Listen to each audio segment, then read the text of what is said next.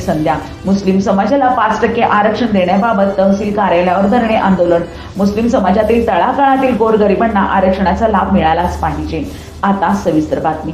शासन निर्णयान्वये राज्यातील शासकीय निमशासकीय शैक्षणिक संस्थांमध्ये मुस्लिम समाजाचे एकोणपन्नास प्रवर्गाला विशेष मागास प्रवर्ग यांना पाच टक्के आरक्षण देण्याचा निर्णय राज्य शासनाने अध्यादेश क्रमांक चौदा दिनांक नऊ सात वीसशे चौदा अन्वये निर्गमित करून अधिनियममध्ये विशेष तर- तरतूद केली होती. परतरे यांनी निवेदन निवेदन देतेवेळी मुक्ती मोहम्मद रोशन शहा कासमी मौलाना सद सदरुद्दीन सदर उद्दीन मुक्ती शब्द सदर हाफिज अबू बकर हाफिज सलीम हाफिज समीर माणा हाफिज वसीम माणा हाफिज अखिल हादगाव हाफिज अशफाक सोनोरी बार्शिद पाटील सोनोरी समाजसेवा इम्रान खान यांच्यासह अनेक मान्यवर आणि मुस्लिम समाज बांधव यांची उपस्थिती होती.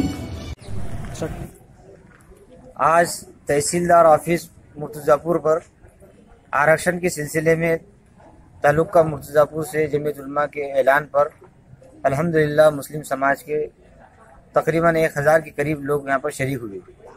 और हमारी मांग है महाराष्ट्र गवर्नमेंट से कि आरक्षण के सिलसिले में, जैसा कि महाराष्ट्र गवर्नमेंट ने हमारे हिंदू समाज के भाइयों के लिए 16 परसेंट आरक्षण के देने का ऐलान किया, हम महाराष्ट्र गवर्नमेंट से इस बात की अपील करते हैं कि उसके साथ साथ में हमारे भी पाँच फ़ीसद आरक्षण के सिलसिले में हुकूमत अपनी तरफ़ से ऐलान करे, ये हमारी मांग है और हम चाहते हैं कि हुकूमत जल्दी से जल्दी इसका ऐलान करे।